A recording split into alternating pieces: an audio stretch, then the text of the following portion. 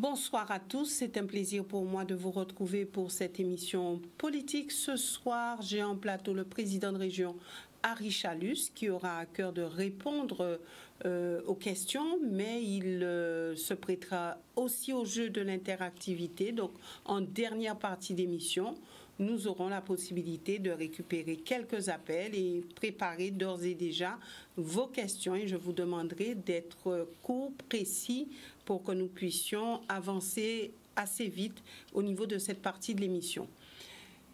Monsieur le Président, bonsoir et merci d'être avec nous. Bonsoir, merci à vous de m'avoir invité à ces politiques. Bonsoir à la Guadeloupe. Voilà, donc euh, vous êtes euh, un homme heureux, on peut dire, puisque le dernier sondage Cadistat vous place en tête de la confiance euh, des Guadeloupéens pour construire l'avenir de la Guadeloupe. Alors, est-ce que pour vous, c'est une bonne nouvelle? C'est une juste, je vais dire, une juste récompense du travail accompli? Non, déjà, euh, j'aimerais euh, juste commencer pour euh, lancer, juste pour dire que j'ai une forte pensée pour plusieurs familles hein, en Guadeloupe qui ont perdu un proche. Cette année a été une année qui finit. Hein. Je ne sais pas si on aura l'occasion peut-être de se revoir avant la fin de l'année pour les fêtes de Noël, comme vous le faites d'habitude avec tous les politiques de la Guadeloupe. Mais une pensée pour beaucoup de Guadeloupéens. Euh, je pense à Mme Janie Marc, je pense à la famille Démocrite, Marianne, Gatou, euh, même l'ancien directeur de Coca-Cola, des, amis que nous avons perdus en Guadeloupe. Et je sais que c'est pas facile parce que moi, je suis passé par là l'an dernier euh, en perdant ma mère et ma soeur et mon oncle après trois mois. Et d'autres choses qui me sont arrivées, mais je tenais à dire à ces personnes d'être vraiment fortes et que nous sommes à leur côté, les amis, la famille, car c'est une année vraiment très très difficile pour beaucoup de personnes. Hmm. Vous avez oublié quelqu'un, Victor Lurel, qui a perdu son fils? Oui, aussi, ouais, effectivement. J'ai dit toutes les personnes qui ont perdu un proche, hmm. j'y étais. Hein. Euh, à la levée du corps, hein, comme je l'ai fait pour bon nombre de personnes, comme je l'ai toujours fait. Euh, mais c'est pas facile, surtout quand, dans ce Covid, on ne peut pas effectivement faire des veillées comme avant, hein, passer des moments avec la famille. Donc c'est encore plus difficile pour les familles parce que beaucoup de personnes ne peuvent se déplacer euh, pour rendre visite à leurs parents, à leurs familles, surtout les personnes âgées. Donc je tenais quand même à, le dire euh, parce que ça m'a beaucoup touché, vraiment touché, touché euh, les élus régionaux et le personnel de la région. Nous avons perdu aussi un, employé à la région, euh, Bervers, hein, qui était quelqu'un de tellement dynamique, un bon vivant. C'était pas facile, donc je souhaiterais dire à toutes ces familles, Red, Fosse et Kimbé, voilà. Concernant le sondage, comme je l'ai toujours dit depuis toujours, hein, car ce n'est pas la première fois que je ne regarde pas les sondages. Ça fait toujours plaisir.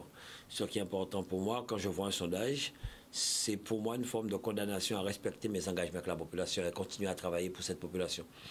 Continuer à me donner pour la population, c'est ce qui est important pour moi. Donc, euh, je dis merci hein, si euh, euh, y a une confiance, mais je pense qu'on peut encore aller plus loin, on peut encore faire plus en Guadeloupe. Et j'emploie toujours ce mot, ce mot solidarité, mais le vrai mot solidarité qui sort du cœur et non seulement de la bouche. Car comme je le dis, comme je le répète, je vois les gens le disent, ensemble nous plus forts, ensemble nous payons plus loin. Cet après-midi, j'étais avec le docteur Henri Joseph qui doit bientôt présenter un film euh, qui était vraiment très content de ce qu'il a fait sur la biodiversité, le gros travail de biodiversité que nous faisons à la région avec Madame Duflo, hein, qui, que je félicite. La RB est en place aujourd'hui. Nous avons mis en place cet organisme. Je pense que euh, dans le cadre vraiment de, ce, développement de la biodiversité, avec des personnes comme euh, Henri Joseph, nous irons très loin. C'est ça qui est important pour moi, pouvoir répondre euh, à l'attente des Guadeloupéens, soulager, donner de l'espoir. Je le dis, n'en déplaise à certains, tous les soirs, je prie et je demande une seule chose à Dieu, de me permettre de faire mon travail honnêtement, consciencieusement, de me permettre d'avoir toujours la santé pour pouvoir servir la population guadeloupéenne. Et vous arrivez à, le faire, vous arrivez à, à dépasser, euh, euh, je vais dire, les, embûches? Euh, les embûches, je ne, je ne, regarde pas derrière moi, je le dis tous les jours, hein, je ne regarde pas les problèmes, les critiques, il y, il y aura toujours des critiques. Hier, j'ai été reçu par les élèves, euh, les étudiants de l'université du Camp Jacob, et je leur disais, ils me posaient des questions. C'était une super belle euh, euh, séance de questions-réponses. Que je suis là parce que bon, je pense que Dieu a voulu que je sois en politique comme d'autres personnes, à faire un travail pour la population. Et je le fais avec mon cœur. Les ambitions ne nous regardent pas, on essaie de trouver des solutions. On a de très bons techniciens en Guadeloupe, dans toutes les collectivités, dans toutes les entreprises. Ce qui est important maintenant, c'est qu'on puisse euh, se parler, euh, discuter, trouver de bonnes solutions pour faire avancer les choses. Lorsque vous regardez la Guadeloupe, euh, notamment à travers certaines situations, et je vais vite arriver sur un sujet d'actualité la Chambre des métiers de l'artisanat où le préfet a eu à prendre une décision très difficile par rapport à Gabriel Foy. Euh, qu'en pensez-vous Que, dites-vous en tant que Guadeloupéen avant tout et ensuite en tant que président de région? Vous savez, euh, j'ai été aux élections de 2015, j'ai été aux élections municipales, j'ai été maire de Bémao pendant très longtemps. Je me suis donné et des questions hier ont fusé euh, concernant Bémao. Il y a des jeunes qui m'ont posé la question est-ce que ce que j'ai fait à Bémao, je le fais aussi à la région Je leur ai expliqué qu'on veut en faire plus. Mais j'ai eu des attaques, euh, j'ai eu des. Comme dans chaque commune, il y a l'opposition qui veut toujours euh, avoir la place. Moi, je pense que je l'ai toujours dit concernant la Chambre des métiers et d'autres élections qui existent ici en Guadeloupe et dans d'autres régions, il faudra que ces élections soient peut-être, je pense, comme les élections municipales, régionales et autres, que les gens aillent voter directement. Le gros problème qui existe, c'est toujours cette question de, procuration. Est-ce que c'est vrai? En Amérique, comment euh, Donald Trump parlait de, fraude et des choses comme cela. Et c'est facile de le dire. Mais aujourd'hui, je le dis, il faudrait que dans ces chambres qui ait des élections, que les gens se déplacent pour aller voter, peut-être comme ça se faisait peut-être avant, qu'il y ait moins de procuration qu'une procuration par personne pour régler ces problèmes. Car effectivement, c'est pas normal, euh, quel que soit. Moi, j'ai connu euh, quand même, ça m'a fait quatre présidents de, de, Chambre des métiers. Il y a eu M. Lobo, M. Lasserre, M. Vainqueur. Vainqueur, M. Foy. Et je peux vous dire, ce qui est triste, c'est que ces quatre personnes, j'ai bien travaillé avec ces personnes. On a eu de bonnes idées, de bonnes choses. Vous avez entendu euh, que ce soit M. Vainqueur, euh, euh, ce que nous avons fait au Salon de l'agriculture, à la Chambre des métiers, avec M. Lebeau, M. Lasserre aussi, M. Froid. tout le travail que nous avons commencé à faire, ce sont, je le dis, quatre présidents qui ont envie de faire avancer la Chambre des métiers. Mais lorsque vous voyez que c'est le préfet qui a eu à mettre de l'ordre dans tout ça... Non, non, non, ne disons pas le préfet a eu à mettre de l'ordre. Ce sont les statuts de la Chambre des métiers qui dit, ce sont les statuts de la Chambre des métiers qui dit quand il y a euh, euh, euh, carence, c'est au préfet. Le préfet doit prendre un arrêté et il l'a fait. Voilà. Par exemple, si dans une collectivité il y a des difficultés, soit les élus démissionnent par la suite, donc automatiquement il y a un arrêté pour convoquer le conseil municipal, mais c'est cela, c'est les statuts de la Chambre. Oui, mais lorsque vous voyez que les Guadeloupéens n'ont pas su se mettre ensemble pour travailler à la Chambre eh des métiers et que le préfet ait eu à prendre cet arrêté. Eh en tant que, président eh de région, que, dites-vous de cela? Si on n'arrive pas à faire les bonnes choses en matière de euh, pour l'eau, eh bien c'est ce qui risque de nous arriver aussi. Et on fera tout pour éviter à ce que demain, ce soit l'État aussi qui décide pour nous, élus guadeloupéens, nous élus qui avons été élus par le peuple guadeloupéen. Est-ce que l'État n'a pas déjà donné le là dans cette affaire de l'eau? Et ça nous permet Non, moi je pense que là aujourd'hui, là-dessus, c'est nous qui avons à prendre notre décision. Je pense que nous avons une très belle réunion il y a deux jours, je crois, ou hier, euh, deux jours, voilà. Et en toute sincérité, en toute conscience, conscience tranquille, euh, euh, je pense que les quatre présidents d'Aglo, le département et la région, ont décidé d'y aller euh, en respectant, je pense, les cinq principes de tout un chacun demandés par le président de Cap Excellence. Et s'il y a aussi à améliorer, nous continuons à le faire. Ce qui est important, parce qu'il faut le dire, le président de Cap Excellence n'a jamais dit qu'il ne veut pas rentrer. Il a donné des principes qu'on a respectés. J'ai demandé à ce que ce soit respecté. Et nous sommes entièrement d'accord. Il faut aussi rappeler à la population que le syndicat, c'est l'autorité organisatrice, mais qu'il y a par la suite, et euh, il, n'y a que les élus dans, le syndicat. Il n'y a pas de personne extérieure. C'est la loi. Et dans le conseil d'administration de l'opérateur, il peut avoir, il y aura des Guadeloupéens, il y aura aussi euh, des représentants du personnel, des socioprofessionnels pour que nous puissions fonctionner. Mais Eric Jalton, euh, président de Cap Excellence, dit qu'il n'apprécie pas la méthode, il dit que ni le fond ni la forme. Je, vous dis en toute sincérité, je me suis largement exprimé déjà là-dessus. Moi, personnellement, je ne voulais plus faire de CTAP. Ça a été à la demande des quatre présidents et de la présidente du département, parce que moi, c'est je perds beaucoup d'énergie chaque fois à faire des CTAP, à faire des réunions. Je l'ai dit au départ, dès le départ, la région s'engage aux côtés des EPCI parce que la région et le département ne sont pas compétents. Et nous nous engageons pour les Guadeloupéens, car l'eau, c'est l'économie du pays, les restaurants, les hôtels. Moi, je dis aujourd'hui que les choses se sont améliorées énormément. Vous entendez moins de plaintes. 36 millions investis par la région Guadeloupe concernant ce, plan de d'urgence pour l'eau.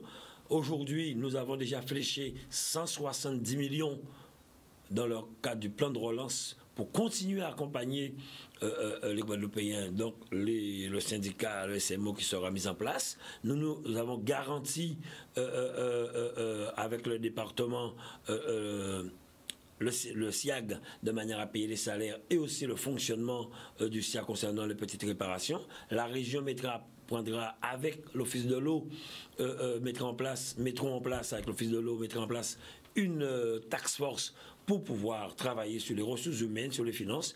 Et nous avons la chance, je le dis, que le président du SIAG aujourd'hui soit un expert comptable qui a fait un travail colossal gratuitement. Il l'a fait, je peux vous le dire. J'ai vu le dossier, disant effectivement que le SIAG a les moyens de se mener sa politique, pouvoir payer les salaires, garantir effectivement euh, euh, la réparation de fuite que nous allons aussi accompagner. En 2019, le SIAG a fait entrer 28 millions. Quand l'État a repris euh, la main, c'est quoi 3-4 millions.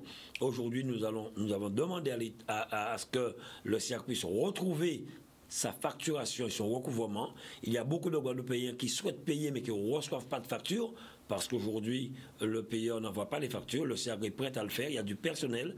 Je tiens à dire aujourd'hui aussi que depuis l'arrivée de la nouvelle équipe au SIAG, toutes les relevés ont été faites sur tous les compteurs vraiment de la Guadeloupe. Donc ils peuvent aujourd'hui facturer. Il y a des gens qui ont toujours eu de l'eau qui sont prêts à payer. Ce, qui va, ce que nous pouvons faire entrer en matière de finances permettant... Et ceux qui ne sont pas prêts à payer?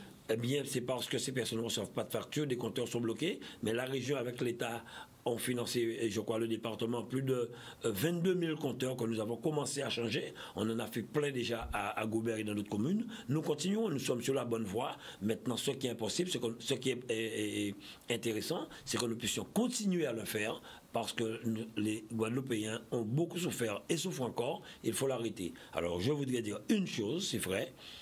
Là, il faut y aller. Un CMO peut être créé avec deux, euh, euh, euh, deux agglos.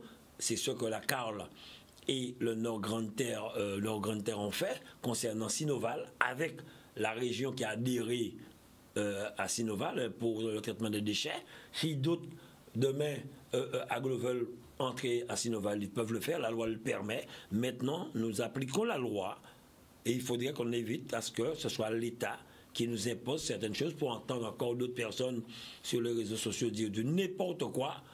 Vous savez, alors, ce qui gêne, à un moment, je le dis, j'aimerais, j'ai beaucoup écouté Ibo Simon qui a fait certaines choses, hein, qu'on le veuille ou non, on peut lui reprocher beaucoup de choses, mais quand je lis certaines personnes, je me dis, euh, c'est triste pour la Guadeloupe. Alors, comme je le dis, aujourd'hui, les cataglos plus de régions départements, on délibérera le 10 décembre pour demander au préfet de convoquer la CDCI, pour qu'au 1er janvier, ce SMO soit, euh, comme je le dis, euh, euh, créé, et officiellement le 1er septembre, ce qui permettra à la taxe force entre-temps, avec les, usagers de l'eau, avec les sociaux professionnels, avec le personnel, de travailler sur les ressources humaines, les finances. un petit regret quand même que Cap Excellence ne soit pas Moi, je ne dis pas regret. Comme je l'ai dit, Cap Excellence a une régie qui fonctionne très bien elle peut garder sa régie et peut-être demain euh, euh, intégrer le SMO. Je me demande pourquoi on fait autant de bruit. Pourquoi autant de bruit? Il y a, d'autres petits syndicats qui, existent en Guadeloupe. Mmh. Parce qu'à un moment donné, il était dit que tout c'est mieux, c'est mieux si nous sommes, C'est mieux si nous sommes tous ensemble. mais ça, ça, ne gêne pas ce que nous puissions travailler ensemble et attendre. Si demain Cap Excellence souhaiterait rentrer, Cap Excellence peut rentrer. Mais comme je le dis, maintenant, il faut qu'on arrête tous ces échanges inutiles qui ne nous servent à rien et qu'on puisse aller de l'avant. Et c'est ce que nous souhaitons. Et comme je le dis encore, le plus important, l'État va nous accompagner. Nous demandons à l'État seulement l'accompagnement. Le président de la République l'a confirmé encore. Il attend que ce SMO soit en place pour vraiment financièrement nous accompagner et garantir aussi les prêts que nous allons faire. La région, dans le cadre du plan de relance, fait un effort considérable, je le dis. Mais, mais l'État a demandé à la région et au département de s'impliquer. Nous, nous sommes impliqués, nous l'avons dit, nous garantissons euh, une aide euh, au SIAG de manière à permettre euh, au SIAG de pouvoir continuer. Et pour le dire, comme je le dis, le 10, nous allons à la région présenter le plan de relance de, de, la région qui avoisinera les 500 millions. Il y a le plan de relance de l'État de 133 millions euh, aussi. Donc, c'est 170 millions qui ont été fléchés pour accompagner et poursuivre les travaux de l'eau. Sans compter le, barrage de Moreau que nous allons bientôt livrer, pour, qui va en plus de cela soulager un peu euh, euh, le nord il, le nord Il a été question du juste prix ou d'un prix qui tout ça est pris en compte. tous les Guadeloupéens. Tout ça est pris en compte, un prix unique de l'eau abordable pour tout le monde. Alors, quand on pas abordable? Eh bien, c'est en fonction des travaux qui ont réalisés, en fonction du prix moyen de l'eau en Guadeloupe. Il y aura des études qui seront, seront faites par la tax force pour nous proposer, on a déjà euh, euh, travaillé dessus, les techniciens de toutes les collectivités, notamment le Cap Excellence au départ, nous avons travaillé dessus, nous y arriverons à pouvoir proposer un prix abordable de l'eau. Il faudra payer tous ces travaux. Oui, mais les travaux, c'est nous, ça c'est autre chose, c'est de l'investissement. Mais moi, je parle du fonctionnement. Et nous, nous l'avons dit aussi, il n'y aura pas de licenciement, il est clair. On ne peut pas aujourd'hui, avec cette crise Covid ou des entreprises ont des difficultés qui licencient et permettre des licenciements. Ça c'est clair, tout le monde est unanime là-dessus. Donc voilà, prix abordable de l'eau et que chaque aussi agglomération puisse aussi payer leurs dettes n'est pas question de transférer des dettes à la nouvelle structure. Donc, tout est respecté. Nous sommes prêts. Voilà maintenant. Il faut qu'on y aille. Un point, c'est tout. Il faut qu'on y aille. Un point, c'est tout. Alors maintenant, et puis on suivra de près ce dossier de l'eau puisque c'est un dossier qui a eu beaucoup de rebondissements, donc on va voir comment ça peut euh, évoluer, comment ça peut se passer. Maintenant, euh, il y a aussi euh, le sujet, donc je fais un petit tour de, de, votre actualité, il y a le sujet du bus des maires qui... On, revient là-dessus, parce qu'il faudrait juste que je dise une chose, j'ai vu effectivement passer des notes en disant que oui, j'étais conseiller départemental, je rappelle, je rappelle effectivement que pour certaines personnes qui ne maîtrisent rien, qui écrivent du n'importe quoi, que ni la région ni le département sont compétents en matière d'eau. Le département est compétent en eau agricole. Quand j'étais avec M. Gillot, nous avons fait beaucoup pour l'eau agricole, mais pas compétent en matière d'eau. Il y avait le SIAG et les compétences ont été transférées ensuite aux agglomérations ça existe depuis plus de 20-30 ans. à Richard n'est pas en politique pour certaines personnes. C'est juste pour euh, euh, clouer le bec de certaines personnes qui écrivent du n'importe quoi. Quand vous dites certaines personnes, non, mais on voit, on voit du, n'importe quoi. Au lieu, au lieu peut-être à un certain moment d'informer la population sur de bonnes choses, dire certaines choses, oui, donner des idées aussi. Si on fait comme ça, ce serait mieux pour nous. Je pense que ce qui est important maintenant, c'est qu'on soit ensemble. Je ne sais pas parce que je suis président que je ne prends pas les idées d'une personne qui n'est pas en politique. Alors souvent, ce qu'on reproche aux élus, c'est surtout de ne pas prendre euh, conseil, de ne pas... J'ai toujours fonctionné avec des personnes expertes. Je l'ai toujours fait. Et je ne suis pas trop, je dirais petit, je dirais pas trop grand, pour prendre des conseils, un conseil de n'importe quel Guadeloupéen. Car personne n'est né avec la, avec la science infuse. J'ai toujours fonctionné comme ça, c'est ce qui me permet d'avancer sereinement sans aucun problème. La conscience tranquille. Vous êtes, vous êtes fier d'être le président de région? Je suis fier d'être un élu qui se donne avec d'autres élus qui aiment la Guadeloupe pour la Guadeloupe. C'est tout. Je ne suis pas président, je m'investirai pareil pour la Guadeloupe, je l'ai fait d'avant. Je ne me réveille pas, je, je, ne me suis pas réveillé à 60 ans pour dire que je viens sauver la Guadeloupe. Depuis mon plus jeune âge, je me suis impliqué dans la vie associative, le sport, la culture, dans tout. Il y a Une seule chose que je n'ai pas pratiqué vraiment, réellement, c'est le vélo. Je fais du vélo, mais je n'ai pas vraiment euh, euh, euh, pratiqué pour dire que j'étais président. Je n'ai pas siégé dans un conseil d'administration d'un club de, de. Mais j'ai tout fait. Du hand, du volet, du basket, tout. Je me suis impliqué, j'ai aidé des jeunes, j'ai accompagné des personnes. Je n'étais pas en politique, je le faisais déjà. Je suis entré en politique, je n'ai pas changé. J'ai continué à le faire. Je suis président de région, je continue à le faire même hors mes responsabilités.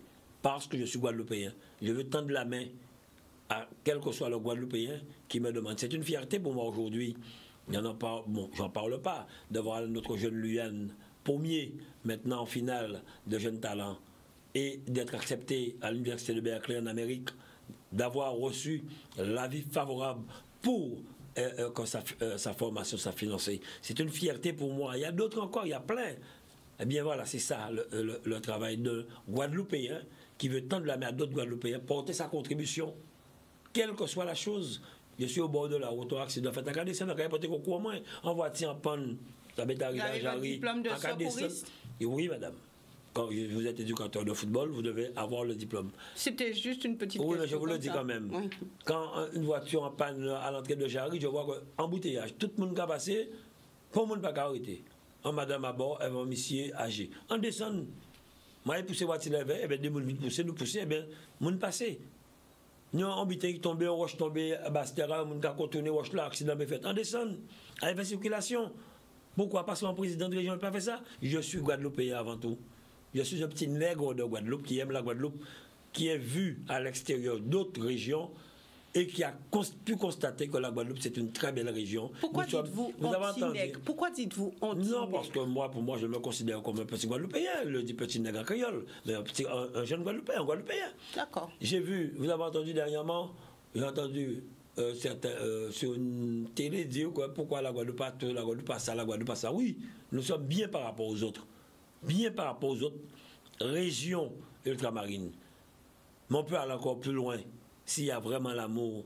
Si on ne se bat pas pour le pouvoir, on ne se bat pas pour dire que c'est moi qui ai fait, c'est moi qui veux, on peut, je le dis, faire encore avancer. Est-ce que ça va arriver un jour? Je pense de que ne oui. Pas se battre pour le pouvoir. Je pense que oui, comme je vous l'ai dit, je pense que oui.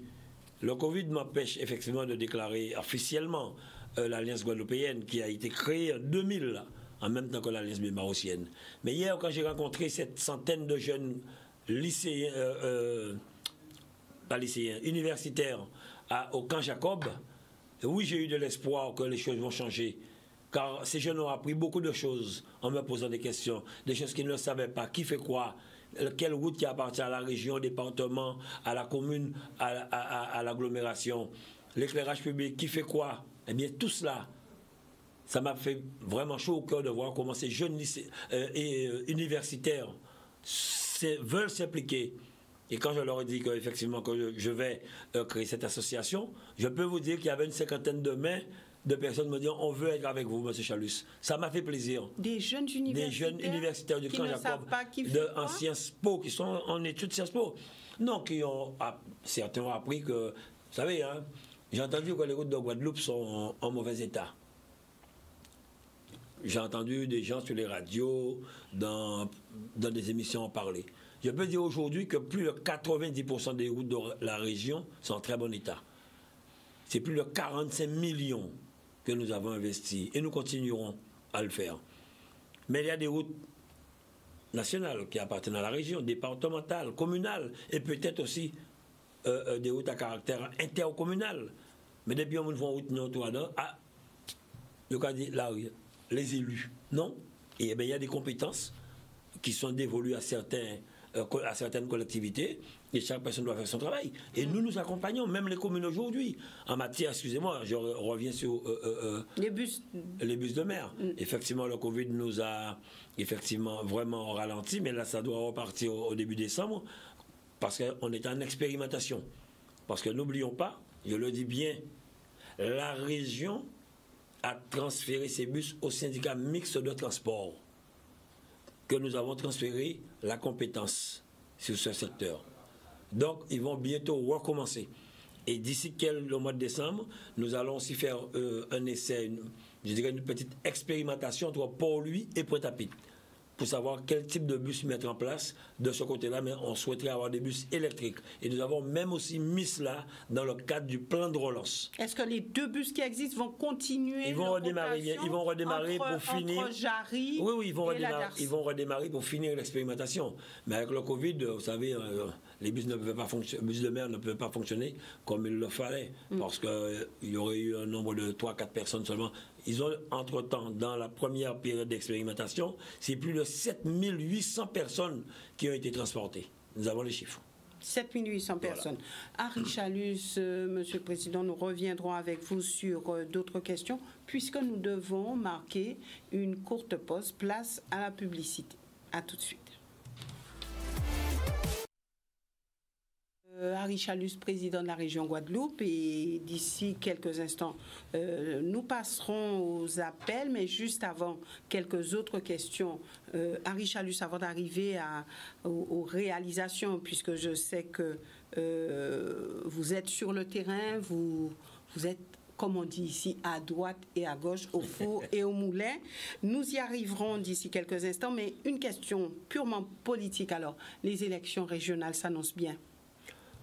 Euh, vous savez, sincèrement, je ne pense pas aux élections régionales. Je sais que les élections arrivent. Pour l'instant, ce qui m'importe, c'est de pouvoir sortir tous nos projets comme nous l'avons commencé. Vous avez vu, euh, je vais rester sur le sport, c'est celui qui avance le, plus rapidement. Hein, la piste Marie-Josée Pérec, euh, je crois que mercredi, l'équipe de France arrive en Guadeloupe. Elle est, finie. Une piste connectée parmi les trois ou quatre de France et de très haut niveau. Qui a, et le CREPS Guadeloupe a été retenu euh, euh, pour les Jeux, euh, pour la préparation d'athlètes de haut niveau pour les Jeux olympiques de 2024. Donc c'est une fierté pour nous. C'est ce qu'on appelle aussi échanger d'avenir. N'en déplaise à certains. Nous venons de livrer la piscine de, de Rivière des Pères qui restait fermée pendant trois ans. Ma fierté, c'est de voir que des travaux vont débuter à la désirade d'ici la semaine prochaine, si ça n'a pas commencé, pour l'éclairage du complexe, le terrain de football, de basket, de hand de la désirade. Jamais ils ont connu cela. Mais la région a pris la maîtrise d'ouvrage pour les accompagner. Nous avons aussi les gymnases de Marie-Galante qui avancent très bien. Et nous aurons la première pierre de, de Mornalo à, à, poser d'ici quelques temps. Enfin, quand je dis première pierre, visite de chantier. Nous avons aussi, et j'invite les Bastériens, Saint-Claudiens, à faire un tour à la plaine de sport que nous avons euh, euh, construit avec des terrains de football en, gazon synthétique recouvert, terrain de basket, terrain de, tennis, euh, une, piste de skate demandée par les jeunes suite à une réunion et aussi des jeux pour les enfants, mais une piste pour les gens puissent courir de plus de 640 mètres. Le stade de Trois-Rivières, là, le maire attend que l'herbe puisse bien repartir pour, que, nous puissions euh, euh, l'inaugurer. À Bastère au Carmel, avec le maire de, Bastère, nous avons vu les euh, commandes ont été signés la semaine dernière pour construire un complexe sportif pour les jeunes et surtout au gosier. Nous, J'espère que euh, le, gosier fera vite pour pouvoir construire le, gymnase et aussi rapidement euh, le complexe tennistique que nous, nous, attendons le neveu pour créer par la suite en Guadeloupe, si Dieu le permet, un tournoi ATP 250 euh, pour permettre vraiment à faire venir des Américains, des Canadiens ici pour booster l'économie du pays. Donc vous posez une pierre dans chaque commune de la Guadeloupe? On n'est pas loin. Je ne dirais pas qu'on le fait, mais on n'est pas loin. Enfin, on dit pose, de première pierre. Mais la plupart, moi je ne pose pas de pierre si les travaux n'ont pas commencé. Ça veut dire qu'on est sûr que ça a commencé. La piscine de, de, de Pointe-Noire qui est fermée depuis plus de trois ans, eh bien, les travaux vont commencer d'ici la semaine prochaine ce matin en commission permanente, nous avons validé le plan de financement et la région va porter la maîtrise d'ouvrage et l'État va nous accompagner. Donc, pour moi, c'est ce qui est important. Tout ce que nous faisons. Alors, aujourd'hui, on peut dire que vous êtes un bon gestionnaire. La région a une santé financière saine la région a une bonne santé financière. Je ne dirais pas saine comme les gens pensent. La région se donne les moyens de sa politique de gestion et d'accompagnement des collectivités. Il faut le dire, il faut être franc, il faut le dire. Nous connaissons la situation financière de beaucoup de communes en Guadeloupe. Les 32 communes forment la région Guadeloupe, donc c'est tout à fait normal que la région puisse accompagner au développement économique, sportif, culturel les, communes de Guadeloupe. Et ça, c'est une volonté que l'équipe régionale euh, euh, fait très bien.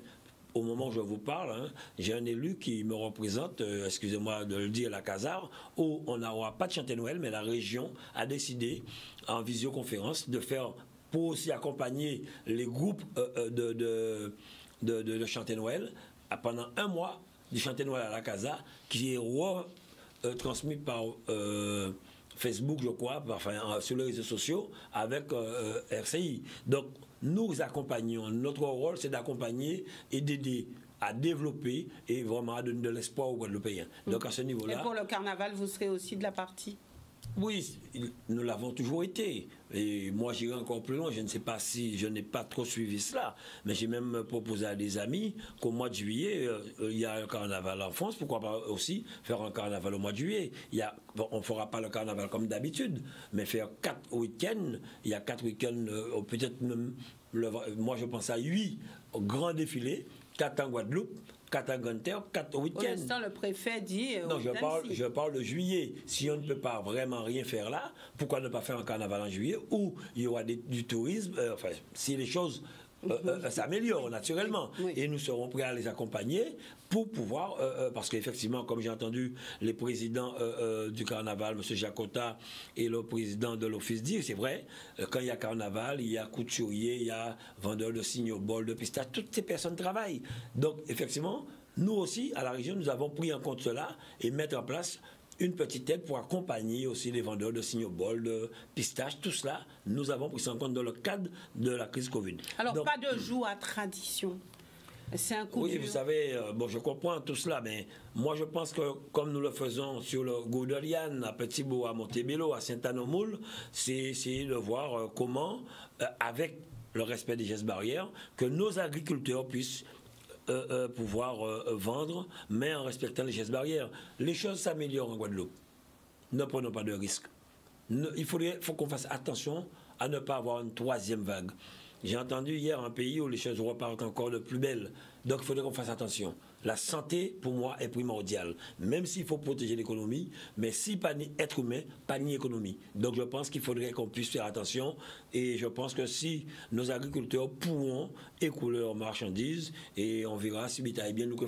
Pourquoi pas faire jouer à tradition? Peut-être on me dira c'est pour dire boire, en gros, modo. Mais aujourd'hui, on veut consommer local. C'est pour cette raison que nous avons lancé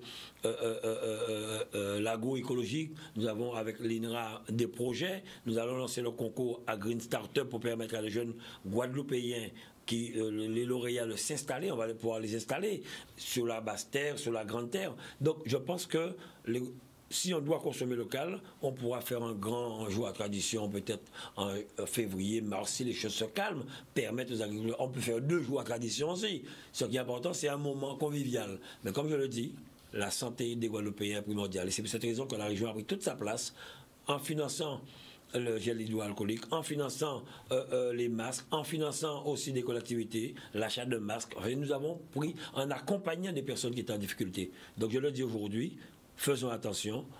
Moi, je prends un exemple. Il y a eu la guerre 39-45 pendant six ans. La France était bombardée, tout était fermé. La France s'est relevée. Nous allons nous relever. Mais pour qu'on puisse se relever, faut nous là, faut nous debout, faut nous en santé. Voilà. Euh, Et quand je parle, vous parlez de travaux, vous-même, vous voyez devant le boulevard de Jarry, même si ça a pris du retard avec le Covid, mais on voit le changement. Et là, nous avons lancé l'appel d'offres, la deuxième tranche pour aller jusqu'au grand giratoire. Quand je vois déjà bon un embouteillage, les travaux ont commencé près de la clinique pour éviter cet embouteillage. Il y aura deux bretelles maintenant, sortant de Petit Bourg. On n'aura plus à risquer sa vie pour couper la route. Et en allant euh, euh, euh, à Pointe-à-Pitre, pareil, il y aura deux bretelles comme nous l'avons fait à la Jaille pour que les gens puissent circuler librement, ce qui va désengorger le giratoire de, au, le pont de Dongo, on a ouvert une première voie. D'ici la semaine prochaine, les deux voies seront ouvertes. Les travaux du giratoire de Outa, où nous avons eu plusieurs morts, si nous sommes en chantier. Le moule du côté de Chiva, le giratoire, les travaux vont commencer. La route qui, entre Mornalo et les abîmes d'Oups, eh bien, bientôt, il y aura une voie de délestage pour soulager les mornaliens, les personnes qui sortent de Petit Canal. Pareil à Sainte-Anne, il y a une route de contournement derrière. Les travaux ont commencé aujourd'hui. Donc, c'est ce qui est important pour nous. Travailler sur tout le territoire. À Destrélan, pareil. Quand vous arrivez au pont avant votre euh, concurrent, il y a un goulot d'étranglement, eh bien, nous allons mettre deux fois deux voies quand vous sortez de beau soleil pour que les voitures ne puissent pas rentrer au, au vélodrome mais repartir et bloquer les personnes Alors, qui quand vont. est-ce que tous les travaux seront finalisés? Eh bien, ce sont les entreprises maintenant à pouvoir accélérer, hein, parce que je le dis, ce que je dis, ce ne sont pas des projets. Ce sont des travaux dont les bons de commande ont été signés, sont dans les mains des entreprises. Mais vous savez, euh, maintenant, il faut que tout le monde se donne les moyens d'accélérer parce qu'il y a tellement de contrôles aujourd'hui sur les chantiers par la sécurité sociale, je crois, à cause de- du Covid, les mesures qu'on doit mettre en place. Mais ce que je vous dis aujourd'hui peut être vérifié. Les bons de commande sont dans les mains des entreprises. La Boucan, pareil. L'entreprise, je dis, je peux citer Gadarka, son bon de commande, pour attaquer les tracés des deux côtés nous avons, nous, sommes nous avons presque finalisé l'achat des terrains. Le PF qui a eu ce, ce mandat. Je salue euh, M. Théodore, Louis Théodore, qui nous a beaucoup accompagnés pour pouvoir acheter les terrains. Là, nous sommes prêts. Là, et là, d'ici le mois de décembre, du pont de la Boucan au pont de- du Lamentin, nous allons mettre deux voies vers Pointe-à-Pitre et de Beau Soleil à, au pont de- du Lamentin, deux voies vers- pour au moins déjà soulager les personnes quand ils sont surtout au travail le soir où il y a l'embouteillage. Et ça va fluidifier beaucoup. À Marie-Galante, pour aller faire un tour dans les trois communes. Il y a des travaux dans le bout d'Enrobé, l'aménagement du port de, de Marie-Galante, à Port-Louis, pareil. Donc, nous sommes là concernant les maîtrises d'ouvrage. que- Aujourd'hui, la région elle peut porter des, des- des ouvrages. Donc, nous avons pris des maîtrises d'ouvrage pour plusieurs communes, notamment sur les écoles, à Vieux-Fort, à Pointe-Noire, à Port-Louis, à Marie-Galante, à, à- à Cap-Esther de Marie-Galante, à la Désirade. Et ces travaux sont en cours, Madame Boissé. D'accord. Donc, Donc, euh, d'ici l'année vraiment- prochaine, euh, on verra euh, le visage de la Guadeloupe changer radicalement. Dès que les entreprises mettent les moyens, les bouchées doubles, je pense qu'on en fera vraiment un gros travail. Il va avoir juste à côté un giratoire, la voie verte. L'entreprise a son bon de commande aussi. La deux fois deux voies pour entrer à Jarry, sortir. Les panneaux d'enquête publique sont Donc, posés, des beaucoup de travaux jeunes. routiers. Beaucoup de travaux routiers pour désengorger, désenclaver la Guadeloupe. Mais c'est l'économie aussi, vous savez. hein. La circulation, euh, c'est une forme d'économie. Pour, pour, pour, pour- pour- Regardez, à, à- je crois que c'est à Haïti ou à la, à la Dominique. Dernièrement, ils ont inauguré l'aéroport. Parce que l'atterrissage des, des- des avions, c'est quelque chose d'important pour le pays. Quand nous avons fait le canal du Panama pour que les gros bateaux puissent entrer, c'est aussi de l'économie du Nous pays. aurons l'occasion, euh, euh, à Richalus, de faire vraiment un bilan global de, de votre action au niveau de, de la Guadeloupe. Euh, nous avons beaucoup d'appels de téléspectateurs. C'était euh, une promesse que vous aviez faite. Vous aviez faite et que j'ai acceptée. lors de votre dernier passage sur ce plateau. Donc, rapidement, nous récupérons quelques appels. Bonsoir, nous vous écoutons et votre question, s'il vous plaît. Oui, bonsoir Madame Boisé. Bonsoir. Allô? Oui, Oui. allez-y. Oui, bonsoir Boisé. Bonsoir. Oui, bonsoir Monsieur Charlut. Bonsoir. Oui, euh, je suis un abimien, je, suis, euh, je vous suis très reconnaissant de tout ce que vous faites en Guadeloupe. Merci. Mais il y a un souci au point de vue de la population guadeloupéenne. Euh, je constate que les élus font des débats pour l'eau, mais nous ne sommes pas consultés. Ça veut dire que euh, pourquoi on ne fait pas une consultation de la population, de, par exemple à la cité de métier, pour convoquer la population pour, pour s'exprimer sur l'eau. Parce que je constate que c'est les élus qui décident pour l'eau et euh, on a déjà été euh, euh, par euh, la régie des eaux avec le SIAG qui nous a fait payer des abonnements d'eau pour rien.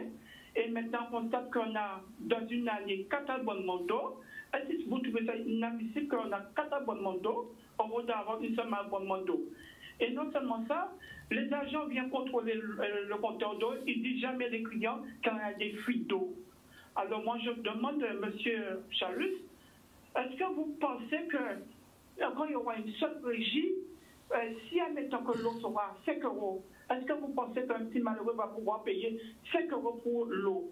Alors moi je demande que finalement, M. Jaldo a raison de ne pas faire ce syndicat unique, parce que moi je suis d'un baisson habile, je vous dis que franchement, l'eau est très chère en Guadeloupe.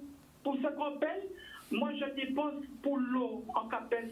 Au moins 50 euros par mois de l'eau en bouteille qu'on ne peut pas boire dans notre robinet, est-ce qu'on saura avoir la bonne qualité d'eau dans notre robinet? Est-ce que le, le ciel va envoyer ce qu'on dépense, vous dépensez de tuyauterie, faire avoir pour les clients, pour savoir combien vous dépensez dans tous ces tuyauteries, parce que la régie des eaux est partie avec tout l'argent, hein, Fernandez aussi est parti avec tout l'argent, et nous, nous, sommes des citoyens à avoir payé les mêmes factures d'eau encore. Merci, merci à vous. D'accord, on paye l'eau, mais est-ce qu'on va payer 4 euros ou 5 euros le mètre d'eau? Merci, merci à vous. C'est ça que je voulais vous demander. Merci, beaucoup. Merci madame. Moi, comme je l'ai dit, hein, euh, on veut un, prix d'eau abordable et qui ait de l'eau de qualité. Il faut savoir aussi, euh, en Guadeloupe, on a un gros problème, c'est que beaucoup, et moi je le dis, peut-être ça va déranger certaines personnes, quand vous délivrez un permis de construire à quelqu'un, normalement, vous devez, la collectivité doit s'organiser pour que l'administré ait l'eau, les réseaux. L'eau, l'assainissement en principe, euh, l'électricité qui passe devant sa maison. Nous avons en Guadeloupe beaucoup de Guadeloupéens, beaucoup même, je le dis. Moi, j'ai fait un gros travail à Bémao là-dessus. Les Bémao aussi peuvent le confirmer. Mais nous n'avions pas à l'époque transféré euh, la compétence eau au SIAG à l'époque. Maintenant, nous sommes à Cap Excellence. Nous avons fait les canalisations pour amener l'eau devant les maisons. Aujourd'hui, nous avons beaucoup de Guadeloupéens qui ont des compteurs d'eau au bord de la rue et qui ont près de 800, 400, 200 mètres de tuyauterie qui rentrent pour amener l'eau dans leur maison. Et quand, et comme ce sont plus, le plus souvent des routes en tuf, le plus souvent, et même des routes euh, goudronnées, quand des camions passent dessus, cela écrase les tuyaux et il y a une fuite après compteur qui est à la charge de ces personnes. Et c'est là que ces personnes reçoivent des factures exorbitantes. J'ai connu à Bémarol une personne qui a reçu à l'époque près de 7000 euros d'eau. Mais c'était une dame âgée qui ne savait pas qu'il y avait une fuite avant, euh, après compteur. Donc c'est vrai, on travaillera de manière à ce que dès que nous allons réparer tous les réseaux convenablement pour envoyer de l'eau potable de qualité chez les, chez, chez les Guadeloupéens, il est clair que nous devrons mettre un prix d'eau abordable pour tous les Guadeloupéens. Parce qu'il n'y aura pas encore, comme on dit, l'amortissement de tous ces travaux. Mais surtout que la région accompagne, l'État accompagne, le département accompagne, il faudrait que le prix de l'eau soit abordable pour tous les Guadeloupéens. Merci. Autre appel, bonsoir. Allez-y. Oui. Allô? Oui, allez-y, monsieur. Oui, bonsoir. Bonsoir. Oui, bonsoir, président. Bonsoir. Oui, j'appelle de, Paul. Et euh, je vois chaque fois que tu viens à la télé. De, de, de quoi Vous appelez d'où? Je t'appelle le Saint-Rose. Ah, d'accord.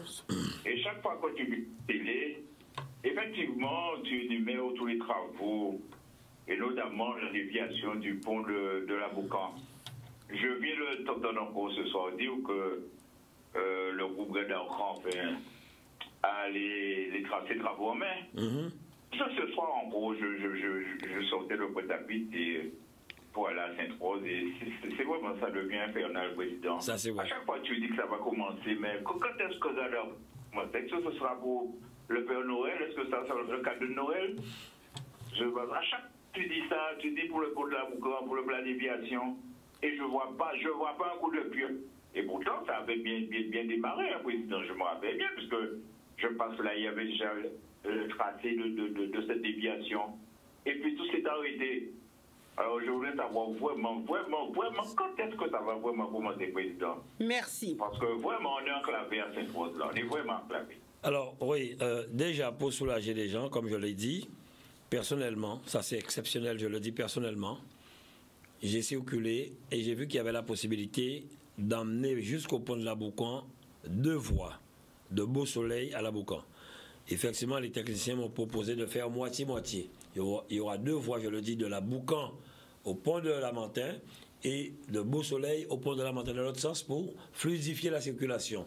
Pour monter au Lamentin même, effectivement, des fois il y a de l'embouteillage et les voitures sur la nationale. Il va y avoir deux voies aussi en même temps pour prendre la bretelle pour entrer au Lamentin.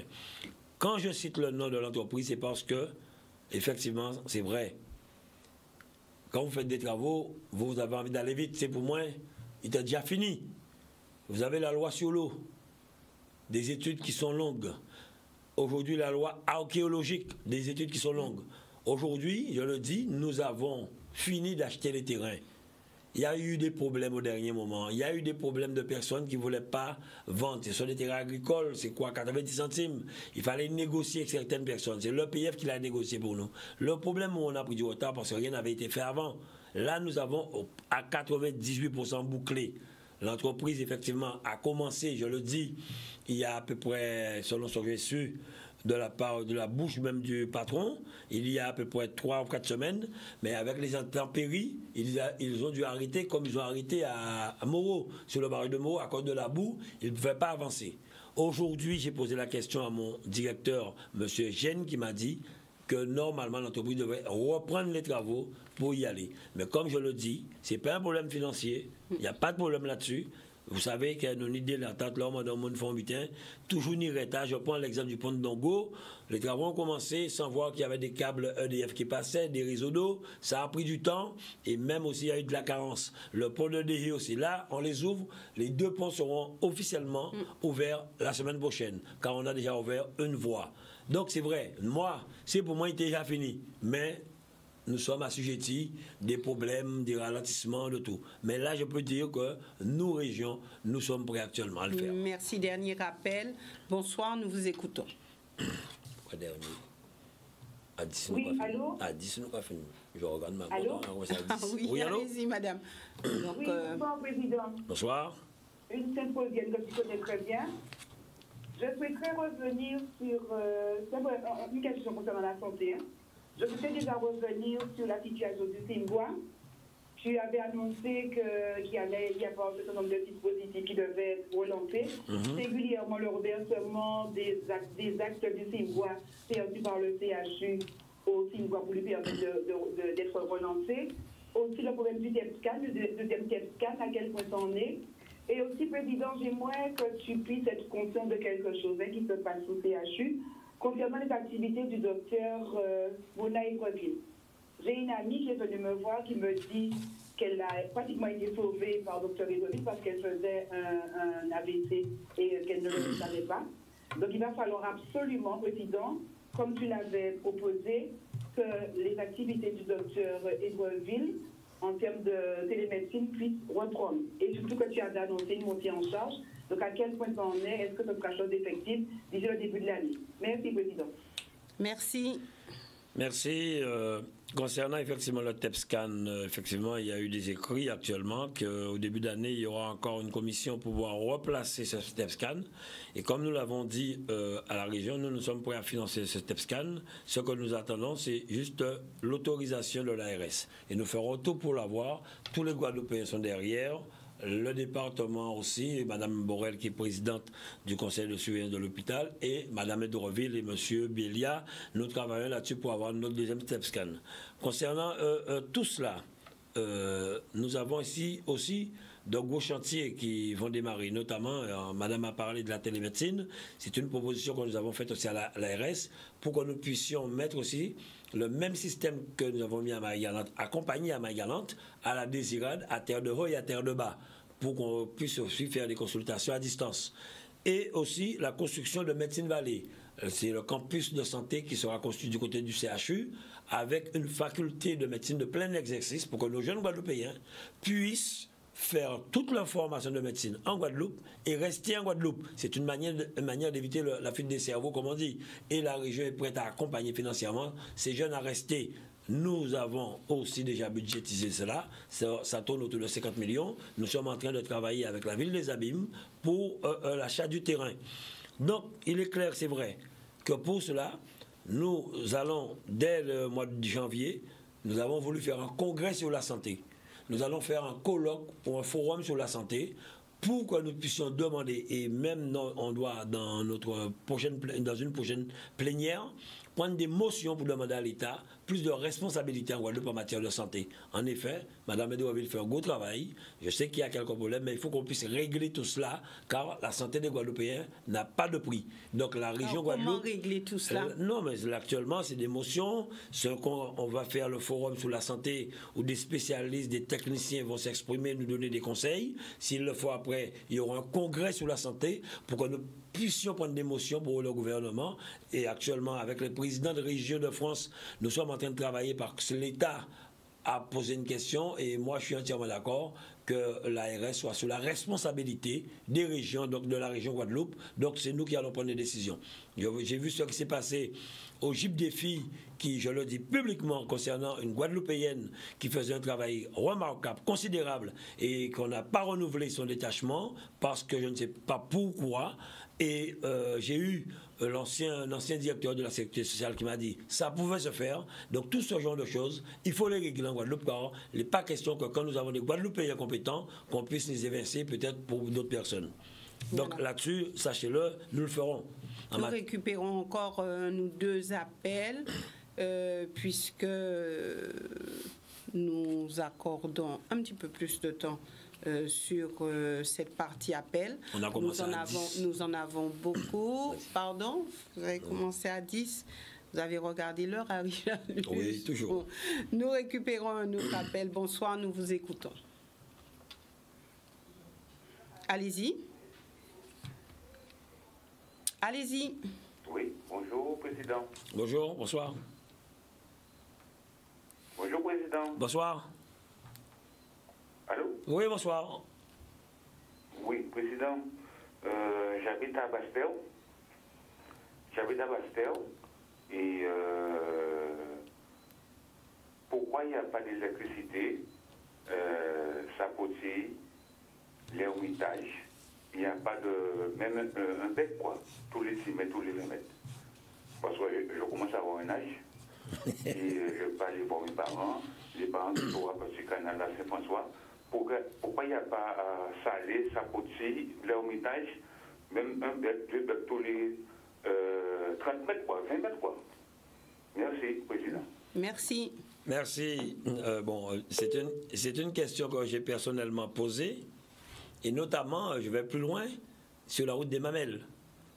Mais j'ai appris avec l'ONF, avec, euh, dans le cadre de la biodiversité, il y a des endroits où on ne peut pas poser de l'éclairage pour ne pas gêner, je sais pas, euh, bon, certaines choses. qui?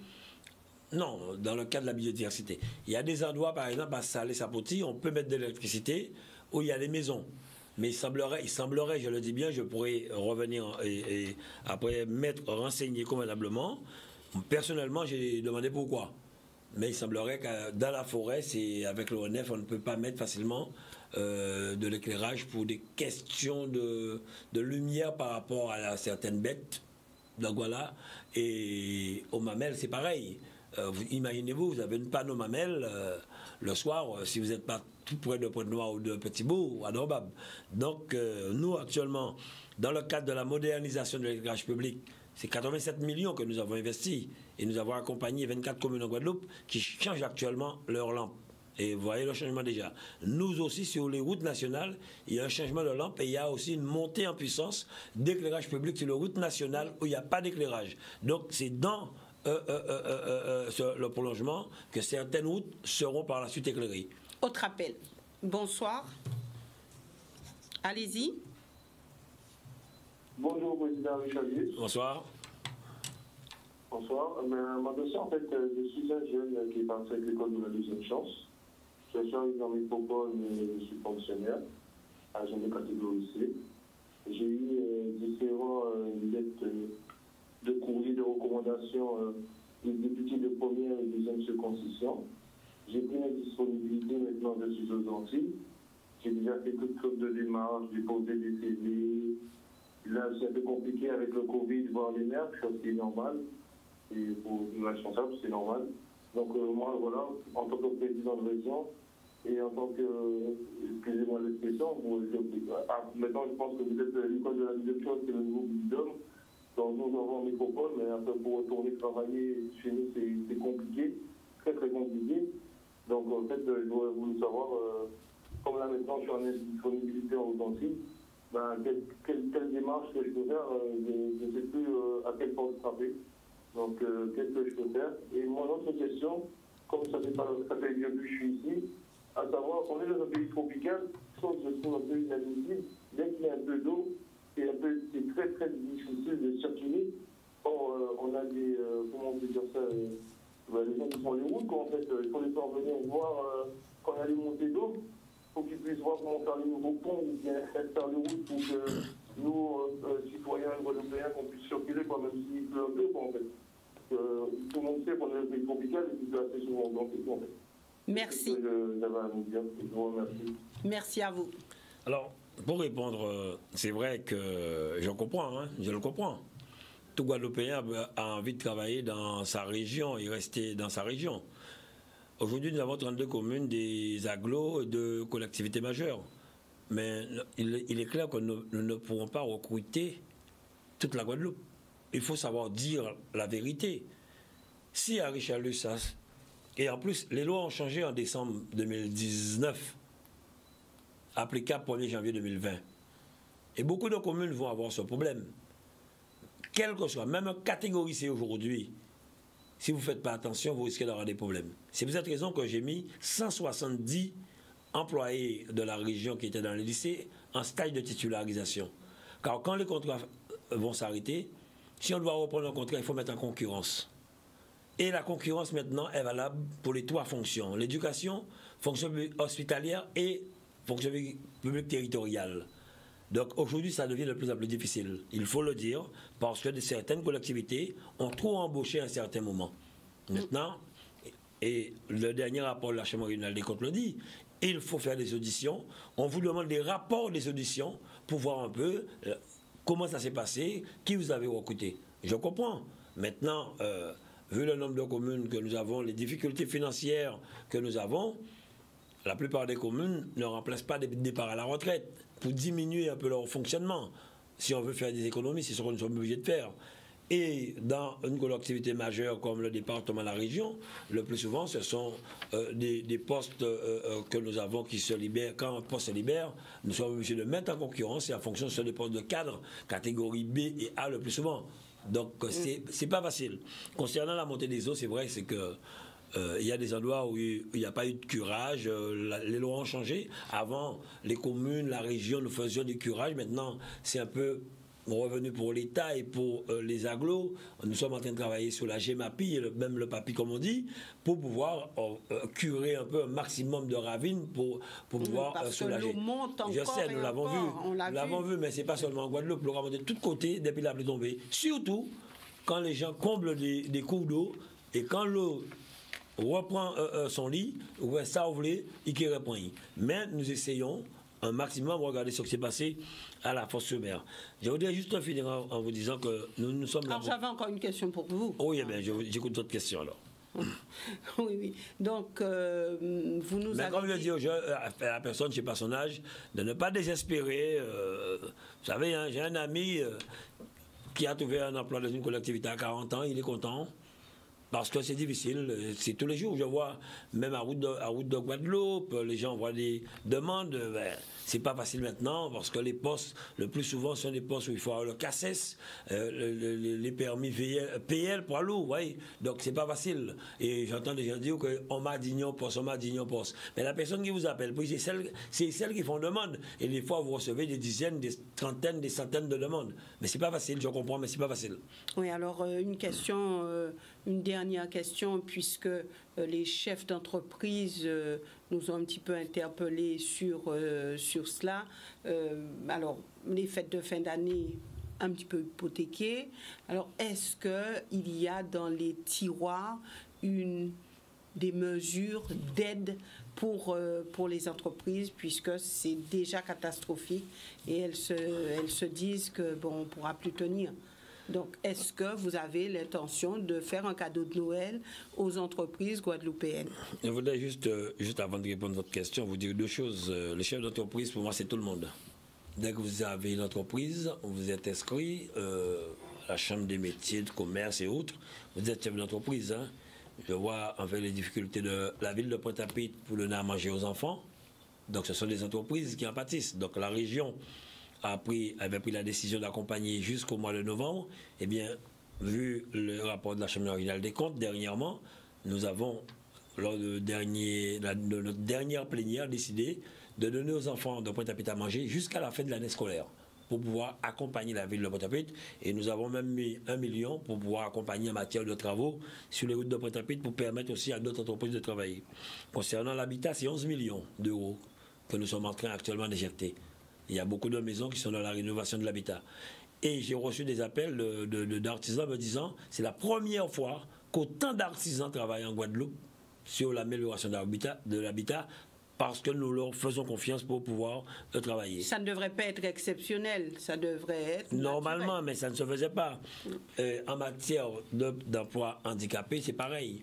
Euh, nous avons à la région beaucoup de personnes qui sont des personnes en, situation de handicap. Je l'ai fait à Bémao, nous avons 8%. Nous sommes en train de voir un peu le pourcentage que nous avons à la région.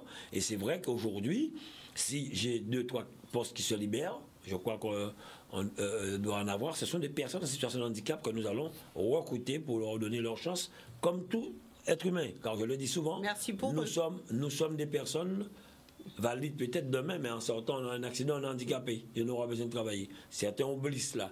Et nous l'avons fait avec plusieurs, hein, Bémaro. Alors, ce cadeau de Noël Non, je l'ai toujours fait depuis 20 ans. J'ai toujours donné euh, euh, sa chance à tout être humain qui le méritait je l'ai toujours fait. Et dans le, je le dis aujourd'hui, Guadeloupe Formation, je dis un mot là-dessus aussi, nous sommes arrivés avec 15 millions de, dettes. Là, à peine 1,5 million qui reste à pouvoir payer. Mais ce sont des chefs d'entreprise qui ont attendu parce que les dettes n'avaient pas été transférées. Donc, c'est pas facile, nous le faisons. Et comme je le dis, oui, dans le plan de relance, nous mettrons tout en œuvre pour accompagner les entreprises.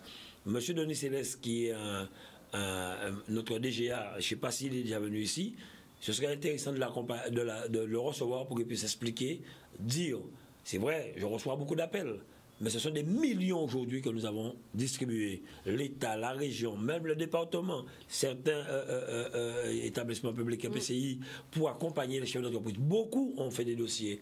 Et ça continue, je peux le dire, avec BPI France avec d'autres euh, banques qui jouent le jeu aussi. Donc vous êtes aux côtés de toutes les entreprises je suis, je, je, vous ai dit au début de l'émission, même actuellement, nous sommes en train de voir avec les organismes, avec euh, euh, les services juridiques, comment mettre en place une aide pour les personnes qui vendaient du sorbet, qu'on est pistache au bolari pour aider Car il y a des personnes qui ne travaillaient pas et c'est leur. Il y a des personnes quelquefois qui sont noires, comme on dit qui ne sont pas déclarées forcément. Parce qu'ils ne travaillent pas.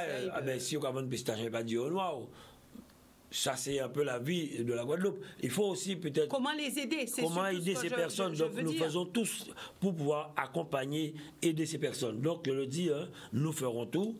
Nous allons bien, bientôt finir les travaux de la zone artisanale de Capesterre, fromager, où nous allons installer de jeunes entreprises pour redynamiser aussi ce, ce secteur accompagner. Là, je sais que l'usine centrale, les travaux devraient démarrer ou sinon ça a démarré dans le cadre de l'agroécologique. Mm. Euh, euh, euh, ce que nous voulons mettre en place, l'agroparc que nous allons accompagner, j'ai entendu dire que j'étais pas pour l'agroparc. Non, je le dis tous les jours. Tout Guadeloupéen qui a un projet, quand le projet est monté, et bouclé, budgétisé, dès que la région peut accompagner, nous le ferons. Car les fonds européens ce sont des fonds qu'on distribue, mais c'est très, très, très délicat. Très délicat, car si vous ne justifiez pas convenablement, on risque de reprendre, de nous faire rembourser ces fonds et sur les fonds propres de la région. Donc aujourd'hui, je le dis, 133 millions d'euros de l'État sur des projets.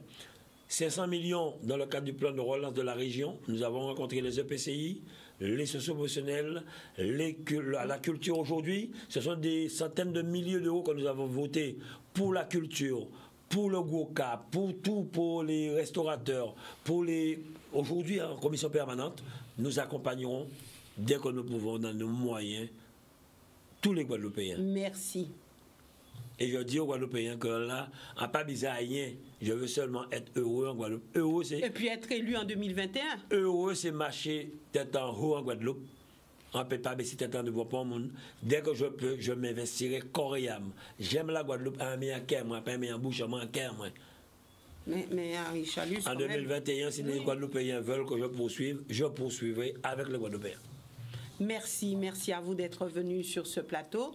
Merci aussi à vous, téléspectateurs, de nous avoir suivis. Et pour ceux euh, qui ont continué à appeler, ben, désolé, ça sera pour une prochaine fois. En tout cas, je vous Je peux, souhaite, dire- je peux rajouter un dernier mot très court. mais vraiment très court. Juste dire que je dénonce ce, ce qui s'est passé à la métropole concernant un Antillais qui a été agressé par quatre policiers. Mais ce ne sont pas tous les policiers qui sont pareils. Parce que je le dis, je, moi qui travaille, je suis sur le terrain avec la gendarmerie, les policiers nationaux, municipaux, on a quand même une police qui fait son travail convenablement. Voilà. Merci à vous et excellente soirée à tous.